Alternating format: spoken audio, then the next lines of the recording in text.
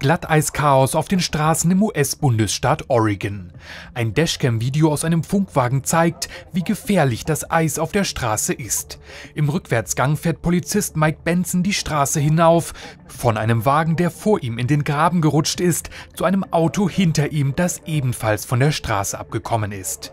Plötzlich schlittert von der anderen Straßenseite ein Auto heran und kracht in den Polizeiwagen. Benson sieht die herannahende Gefahr rechtzeitig und kann sich in Sicherheit bringen. Verletzt wird hier zum Glück niemand. Der Streifenwagen ist zwar beschädigt, trotzdem fährt der Polizist damit kurz darauf zu weiteren Glatteisunfällen. In Oregon explodiert die Zahl der Unfälle gerade. Wie die Polizeibild mitteilt, hat es zwischen dem 23. und 29. Dezember 1101 Unfälle gegeben. Im gleichen Zeitraum 2020 waren es nur 474. Autos, die nur von der Straße abgekommen sind, werden in dieser Statistik nicht mal mitgezählt. In den letzten Tagen hat es demnach ein Todesopfer und mehrere teils schwer Verletzte gegeben.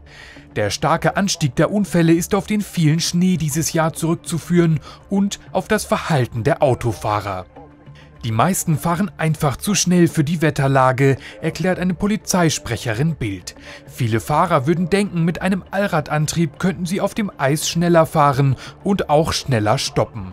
Tatsächlich aber zeigen diese Videos, dass eine vermeintlich geräumte und sichere Straße trotzdem sehr gefährlich werden kann.